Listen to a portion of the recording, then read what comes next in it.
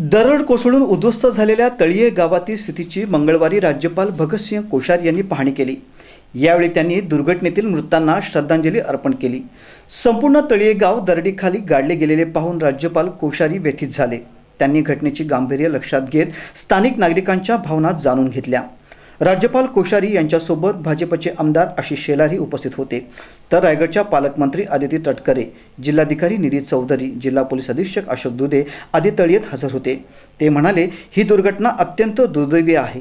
यामुळे आम्ही सर्व दुःखी आहोत. स्वतः पंतप्रधान नरेंद्र मोदींनी देखील या दुर्घटनेबाबत दुःख व्यक्त केले आहे. दरडग्रस्तांना मदत करण्यासाठी केंद्र आणि राज्य सरकार एकत्रित काम करतील. तळीय गावाची पाहणी केल्यानंतर राज्यपाल कोश्यारी हे आमदार शेलार यांच्यासह रत्नागिरी जिल्ह्यात दाखल झाले आणि त्यांनी चिपळूण आणि खेड तालुक्यात महापुरामुळे झालेल्या नुकसानीची माहिती घेतली.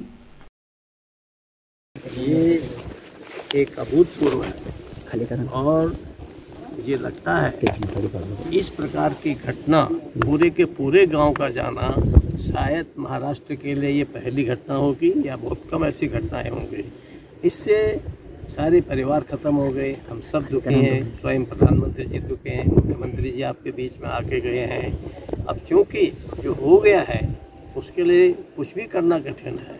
लेकिन हम कोशिशें करेंगे प्रदेश सरकार भी और केंद्र सरकार की भी कि जो भी लोग बचे हैं उनके लिए हम रिहेबिलिटेशन करें।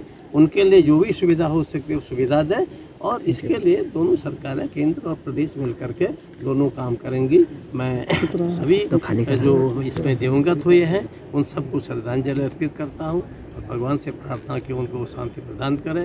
और आप सबसे भी यही निवेदन है कि इस काम में सकारात्मक सहयोग देंगे तो हम हल निकाल पाएँगे प्रदेश और केंद्र मिलकर।